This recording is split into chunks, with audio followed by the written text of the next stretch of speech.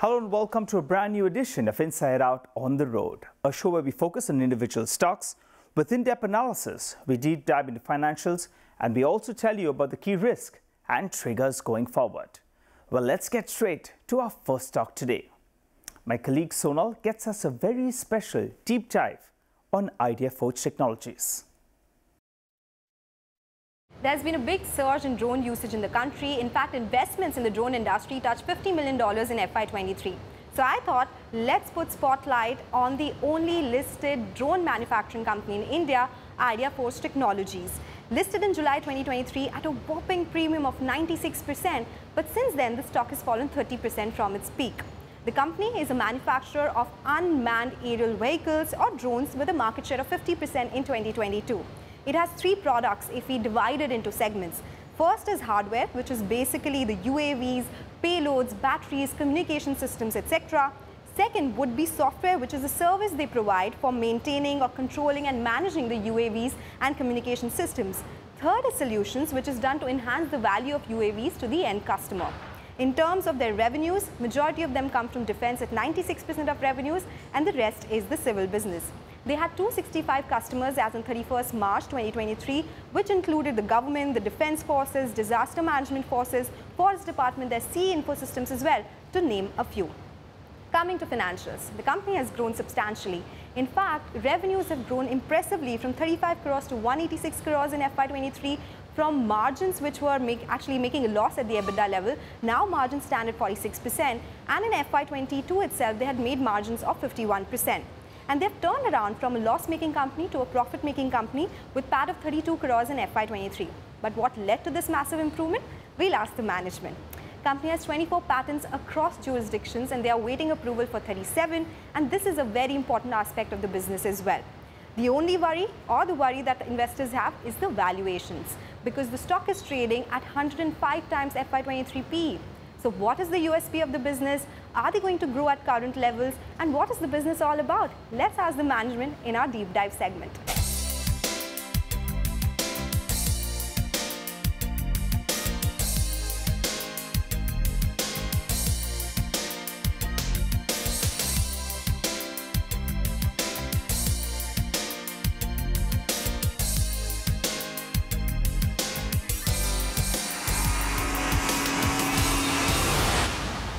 Promise, we have with us the management of Idea Forge. There's Rahul Singh and Vipul Joshi from the management team joining us now. Thank you, gentlemen, for joining us on Inside Out. And this is a show where we would like to understand everything about your company. There's been so much excitement, right? 96% listing gains um, and uh, definitely a lot of interest as well. So let me start with a basic question first. Since there's been so much chatter around the drone industry as well, how big is it and what's the growth rates looking like in this particular segment and which are the clients that you cater to? If I talk about the overall size, roughly about $2.3 billion worth of size of including defense, civil and all other markets that are there in the Indian market as of now is where the industry is poised to grow. And that's the overall TAM that we are looking at how drone industry is speculated to grow in its own segments. And today, our client segment is segregated between defense and civil. When I talk about defense, our pure usage is all surveillance. And in civil, we are uh, looking at uh, surveillance as well as uh, mapping as a use case, uh, which talks about Survey of India as a user, uh, which is also our private resellers who are catering to the large scale mapping. And in surveillance, it is uh, police forces, paramilitary forces, and in defense, obviously, your Army, Air Force, Navy, all our customers who we are catering to as of now. Okay, interesting. So 96% from defense and 4% from civil is what you're getting right now. But let me come to you because R&D, patents, that's a big part of your business as well. How much is that as a cost? Is it something that increases? Does technology change after a couple of years for a particular drone? And uh, what is it as a percentage? What does uh, uh, IP uh, innovation and technology development uh, amount in terms of the cost to us? I'll not comment on the exact cost, but it remains a central part of uh, our engineering effort here. we, I think, focus uh, deeply on creating differentiated IP. That's been the history since we started. So uh, we are one of the most indigenously and in-house designed, developed, manufactured products in the country. Uh, and uh, in-house technology development, IP creation will remain a core part of value creation as we go ahead. Okay. So you didn't give me the exact number, but if you can tell us, is it uh, high single digits, is it uh, low double digits? If you look at the PNL or the balance sheet, where does it stand? So uh, also to add on what Rahul said, we see being a drone manufacturer who started 16 years back, we have significantly invested behind technology all this while. We have 63 patents filed under IdeaForge. Out of that, 25 have been granted globally. And all of these 63 patents have also been filed globally and not just in Indian market. I would say that from a revenue percentage perspective, there are double-digit numbers uh, which are right now part of our focus, but this is something which was historical and at that time our stage and where the drone industry in the Indian market of how we could invest behind this technology was also limited. But with the scope of now today, and if you know that from our fundraise in the IPO as well, 50 crores uh, is what we are looking at. Uh, you know, 40 crores is what we are uh, putting behind product development as well. So in that case, just uh, some idea, what would a drone cost like? What is the range in terms of pricing? And does the technology change often? So uh, I think unlike a lot of industries where the industry has reached a certain uh, growth maturity, uh, uh drones still remain a high growth, high speed of evolution sector. And what broadly, what we believe is what drones have done today is just scratch the tip of the iceberg in terms of what's potential ahead. So uh, in, uh, commenting on if the technology changes often, it doesn't change, but it continuously keeps on evolving. And I think year on year, we are pushing our technology on three metrics performance, reliability, and autonomy. When it comes to manufacturing a drone, how much of the supply chain is dependent on imports when it comes to IdeaForge and India? Is that a big dependence? We recently saw China halting some of its exports when it comes to components for UAVs. Does that impact anyone? I think again, let's go look at the history of how IdeaForge has evolved and you know our significant contribution in developing, the, having the maximum hold on the technology itself kind of uh, saves us from any vagaries of supply chain, so to say. Even in the most peakest of electronic supply chain issue, we could deliver 100% and full of all our largest supply chain that, I mean, supply orders that we got as the company. And Today, when China is looking at limiting, is also looking at limiting on the what is the, so to say, an active component supply chain, which anyways today is not a dependency of IdeaForge on that supply force. Yes, uh, from an import perspective, from a revenue uh, percentage, if I can give you about 15-20% is still an import component of IdeaForge. And slowly, because in the last few years, after the PLI schemes came in, uh, after the initiative of the government of localization, etc., there's been enough support now and the size of the market itself changing. Uh, we are seeing that the localization of components are happening uh, from motor components to propellers to you know carbon fiber rods. All of this now getting built in India, which wasn't the case earlier because I think the size and the market itself or the opportunity for the local manufacturer wasn't enough to be encouraged to support in this supply chain wherein we are also looking at alternatives of what we can and how support the overall ecosystem because the growth of Idea Forge is not just Idea Forge growth, but also our overall ecosystem that we have built in the last 16 years have seen that growth with us. Uh, they have also transformed their overall, uh, you know, capacity as well, uh, you know, and their capabilities as well with us. And uh, some of them are also PLI beneficials like us uh, as well. So across the industry, we are seeing that change. In that case, once you do get an order, say from government, from a local police uh, force, how much time does it take to execute that order? And is it the reason why you see some lumpiness in quarterly revenues? Yeah. So overall, you know, if you see that it's a tender business, right? So from a tendered opportunity in a you know emergency procurement case is about six months itself from an RFP stage to the trial and then conclusion or uh, awarding of the contract. Since then, in an emergency contract, you get about 12 months period to execute the contract. And in that 12 months, you also have a broken down supply chain, which basically is a lots that you get delivered. So when the lots is getting manufactured, obviously in that particular quarter, you would see that the activity is purely based on that you are focusing on building the product. And then in the subsequent quarter, you will revenue it. So as soon as you build it, the revenue get recognized and then the numbers for that quarter will change. And this is typically even for a revenue case as well, where uh, you know, if you're looking at three to four months of overall RFP to trial base, and then supply will also take you about three to four months. So this is how typically the cycles in the capital procurement, the overall RFP stage to trials is a little longer, can be about a couple of years, but you also get a supply period which is also a couple of years. And everything is broken down into lots, and hence with the time period of within which the uh, you know, quarter will end and your supply is due, will always vary uh, from different quarter to quarter. You know, it's important because if an investor looks at your PNL on a quarterly basis, it makes sense and makes them understand how these uh, revenues are accounted for as well. Um, you know, I wanted to understand your export opportunity. You mentioned it as well, how you are adding more products and something that will make you give some exposure to export markets as well. Uh, recently added three resellers in North America. What is reselling exactly here? Does export market, would export market come at higher margins for you? Would it involve more investments because you know you'll have to market it in global markets?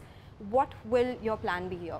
Now in the international market, uh, uh, US particularly is a focus for us because we also see US as one of the largest markets globally for uh, high technology products. And I think uh, uh, our success here gives us the confidence that uh, some of the products that we have made will have good value proposition in the US market.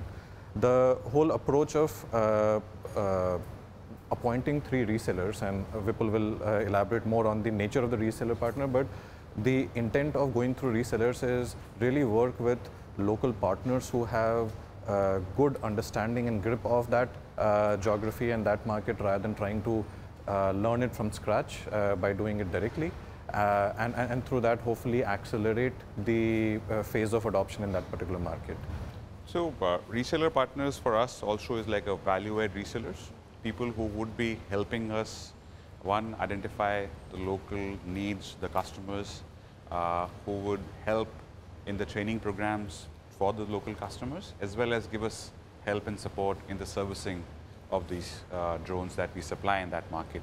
So these people who are already uh, well versed with the market, they know the drone market itself because they have been historically also selling drones for different manufacturers in especially the US territory so what is exports right now, say two to three years down the line, since you're talking about this diversification, what would export be as a target in terms of revenues? So absolute numbers, I know still uh, something that uh, we will eventually disclose and de declare. But if you see at our strategy right now, uh, we are focused right now on the North American market. We would be uh, focusing on penetrating that market through reseller partners as well as whatever presence that we have. We have our own subsidiary in the US market as of now.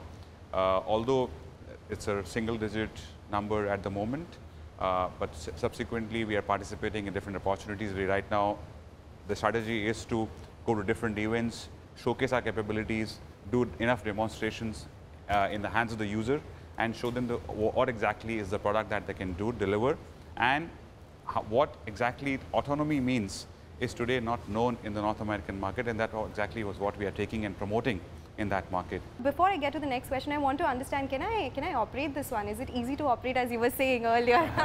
it is, it is, it is very easy to operate. Uh, you just need some familiarization with it.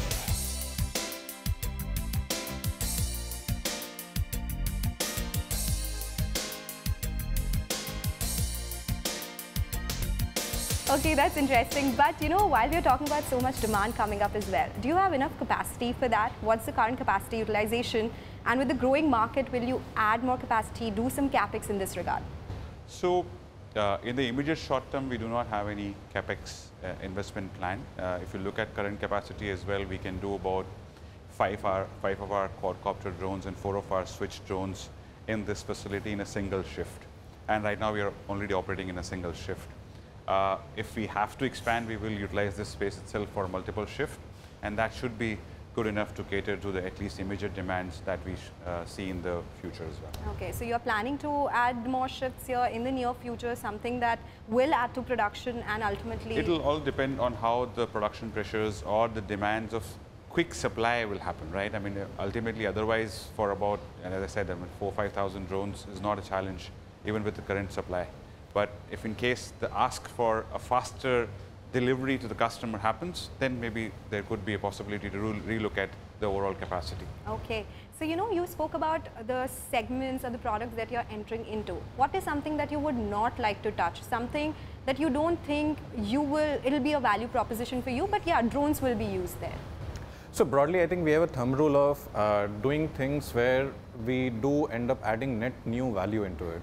Uh, just uh, doing the same replica of what's happening in the industry, I, I, think both as a business philosophy and as a technology motivation doesn't fit very well with uh, uh, how we do things. So the market segments where the room for innovation or the demand for differentiated performance, reliability, autonomy is uh, stagnant are areas where probably we will not go in. So for example, uh, the uh, consumer photography drones saw early growth phase internationally and have in our outlook sort of saturated globally in terms of uh, what they could deliver and how many customers could uh, sort of exploit them.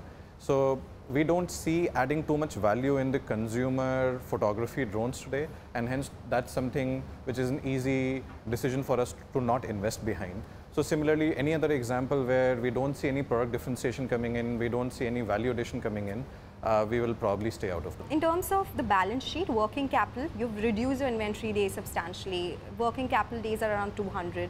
Is this the norm for the industry generally? And what is your outlook here? Will you be looking at reducing it or you're comfortable at these levels? So right now our projection would stay around 200 days. Uh, there are multiple factors around how we were looking at maintaining these numbers.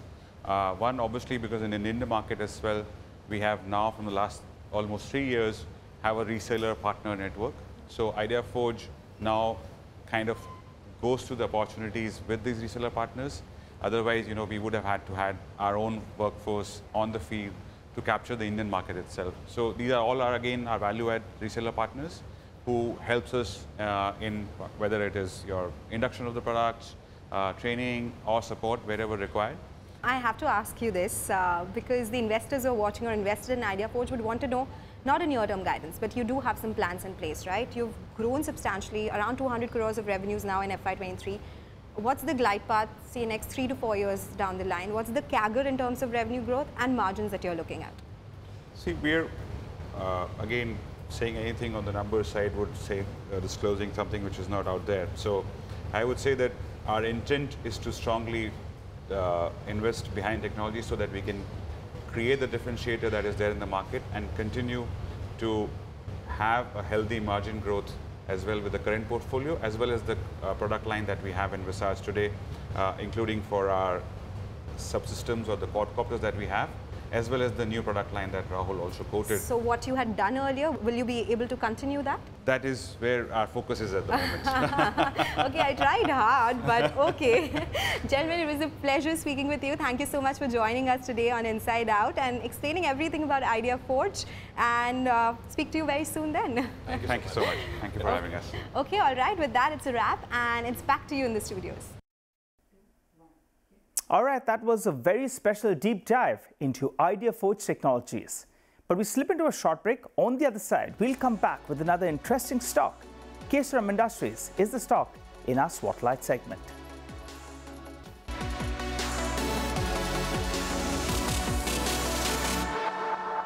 Welcome back to Inside Out. Well, Kesoram Industries is a cement company on our radar. To run you through a few basic details first, it's part of the BK Birla Group and it has a cement capacity of around 10.75 million tons. They also have their plants in Karnataka as well as in Telangana. Well, their units are vertically integrated. That is, it's backed by clinker. They have captive limestone mines and also captive thermal power as well. The mainstay of their business is cement, though they also have a rayon and chemicals unit, which is currently loss-making. But the management has been guiding for some value unlocking via a demerger and possibly turning around it operationally. So let's focus on the core business. That's the cement business. They sell most of the cement that they produce in west, south and other parts of India. And over the past few years, the capacity utilization levels have been hovering around that 55 to around 70% odd. What supports them is valuations. On an EV per ton basis, they trade at nearly half the cost to set up a new cement plant. Well, investors have been hoping the company moves from survival to revival phase and ultimately thriving at least at some point of time. But where's the problem then? Well, the company is sitting on a debt of close to around 1800 crore rupees, bulk of which consists of NCDs from a Goldman Sachs consortium with a borrowing cost hovering around 19%. well, the management has been indicating all options are on the table, from refinancing at a lower cost and also talking about raising equity that could give lenders some kind of confidence. Well, talking about equity though, let's run you through the shareholding pattern. The promoter entity holds close to around 43% stake, but what stands out is Mr. Kumar Mangalam Birla has a large part of this promoter holding. So in case there is some kind of equity funding, well, then the street will be wondering whether or not he goes ahead and takes a larger stake in the company. Well, there is also some FI participation and the DIs basically it's just banking names in there. But let's wind this down with the three big triggers that you should be tracking from here on. First up, will the asset be folded into Ultratech Cement at a later date as consolidation in the sector broadly picks up? Next up, the management has been guiding for double digit volume growth with a EBITDA per ton of around 650 rupees per ton. Now, achieving this is going to be key. And in the near term, all eyes will be on the refinancing of their existing debt to low teens in comparison to the high teens that they're currently borrowing at. Well, we've run out of time on this edition of Inside Out. It's goodbye from Sonal and myself. But do write to us and tell us about companies you want us to discuss and you want to hear about as well. We'll try to feature some of them on our show. Thanks so much for watching.